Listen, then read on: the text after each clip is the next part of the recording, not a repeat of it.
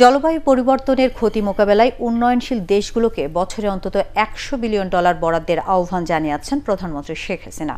Climate vulnerable ফোরামের virtual সামিটে Paris চুক্তি বাস্তবায়নের তাগিদ দেন তিনি। রোহিঙ্গা শরণার্থীদের বাংলাদেশের সামাজিক ও পরিবেশগত ক্ষতির বিষয়টিও এই সামিটে তুলে ধরেন শেখ হাসিনা। ইকরামুল হক সাহেবের report.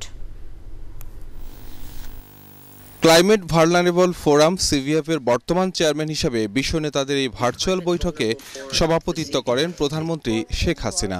বৈশ্বিক তাপমাত্রা ঠিক রাখা, দুর্যোগ প্রশমন সহ জলবায়ু পরিবর্তনের ক্ষতি মোকাবিলায় আরও সাহসী পদক্ষেপ নেওয়ার আহ্বান জানান তিনি। প্যারিস চুক্তির বাস্তবায়নে জোর দিয়ে ক্ষয়ক্ষতি কাটাতে উন্নয়নশীল দেশগুলোর জন্য বরাদ্দ বাড়ানোর প্রস্তাব করেন প্রধানমন্ত্রী।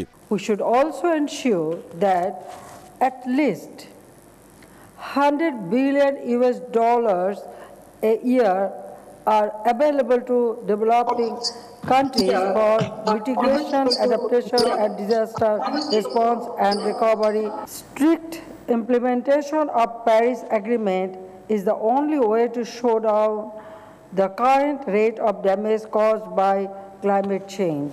জলবায়ু পরিবর্তনে বেশি ক্ষতিগ্রস্ত দেশগুলোর মধ্যে বাংলাদেশ সপ্তম উল্লেখ করে প্রধানমন্ত্রী তার সরকারের নেয়া বিভিন্ন পদক্ষেপ তুলে ধরেন করোনা পরিস্থিতির মধ্যেই বন্যা ও ঘূর্ণিঝড় মোকাবেলা করতে হয়েছে জানিয়ে তিনি বলেন রোহিঙ্গা শরণার্থীদের কারণেও সংকটে পড়ছে Bangladesh 1.1 million Rohingya refugees from Myanmar given shelter at Cox's Bazar are also causing serious social and environmental damages. We have been implementing various mitigation and adaptation programs to combat the climate induced disasters midnight survival deadline for the climate বিষয়ে সংক্ষিপ্ত এই বৈঠকে জাতিসংঘের মহাসচিব Antonio Guterres ও global centre on অ্যাডাপ্টেশনের সভাপতি Ban Ki Moon বক্তব্য রাখেন ইকরামুল হক সায়েম এটিএন বাংলা ঢাকা.